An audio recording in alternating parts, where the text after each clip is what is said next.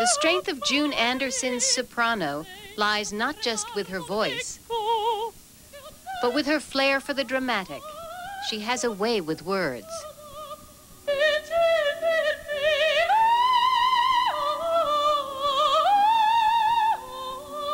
Anderson is a specialist in bel canto, beautiful melodies usually associated with 19th century romantic opera.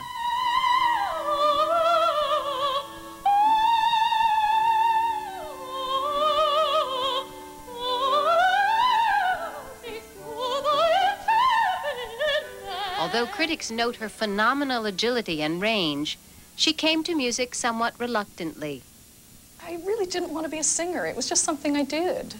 You know, I did what people told me to do. I was a very obedient child and eager to learn. I've always loved learning. I had a teacher who just kind of pushed me in the right directions and introduced me to a lot of music mm-hmm. and, and little by little made me love opera because I thought it was an absolute horror. I couldn't understand how people could get up and, and scream and do that awful stuff.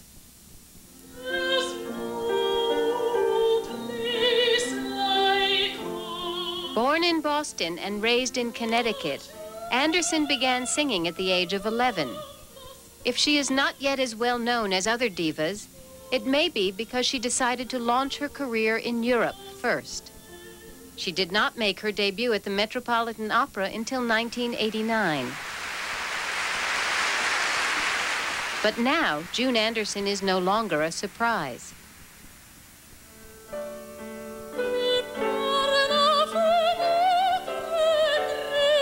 This year at the Kennedy Center, the Washington Performing Arts Society presented June Anderson in recital with pianist Steven Blier.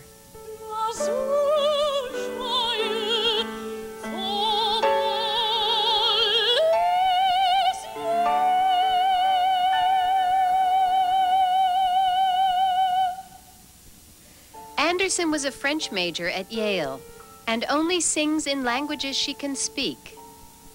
You're dealing with words and words in different languages. Um, I happen to love learning languages, so I speak French and Italian fluently. I speak a little Spanish, a little bit of German, and now I'm learning Russian because that's my new love. It's so important because it's only in knowing exactly what these words mean that the proper color will, will come to the sound. She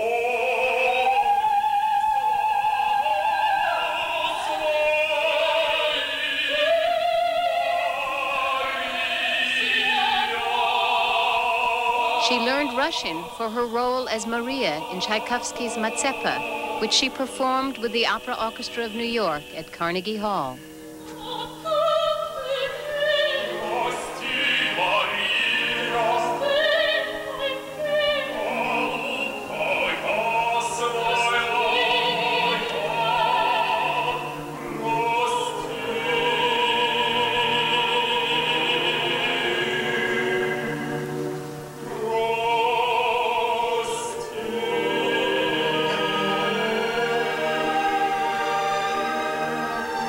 As an instrumentalist, we are so jealous of people whose instruments is in, in the body.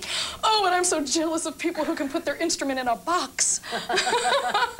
I'd do anything to be able to take it out.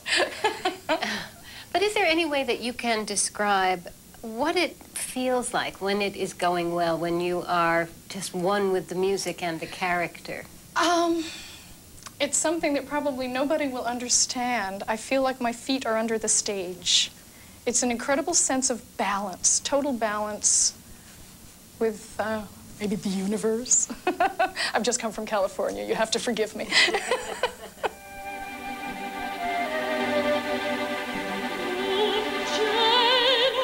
In California, with the Los Angeles Music Center Opera, June Anderson went mad as Lucia, the young bride in Donizetti's 19th century opera.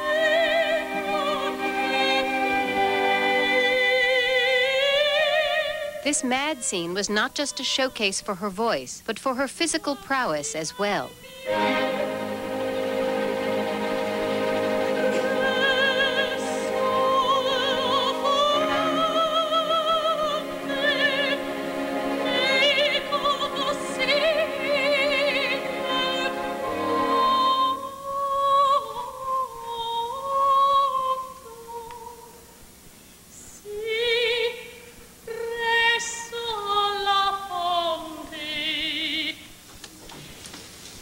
Is actually prettier than the real stuff. It is much. Uh.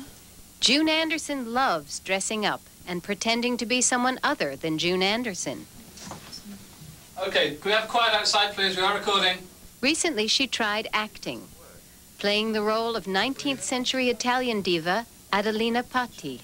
The docudrama was filmed in London's Covent Garden. Action. Madame Patti, I have nearly all the money. Nearly all? The fee is $5,000, and I will not go on stage until I have all of it. In cash. Oh, of course, Madame.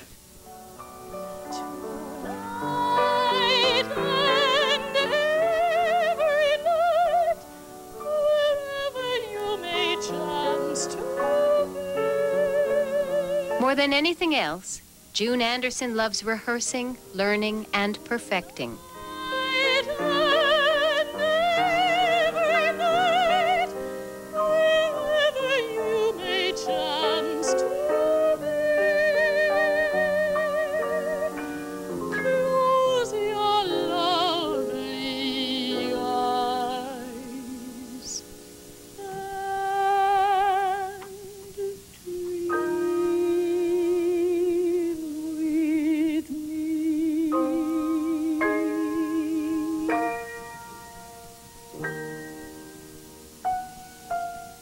Indeed, she is happiest when she is singing just for herself. If I could, I would only sing in my living room.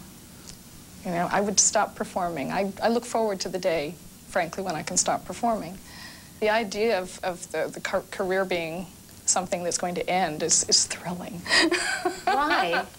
oh, well, it's, you know, you can't, I don't want to sing for the rest of my life.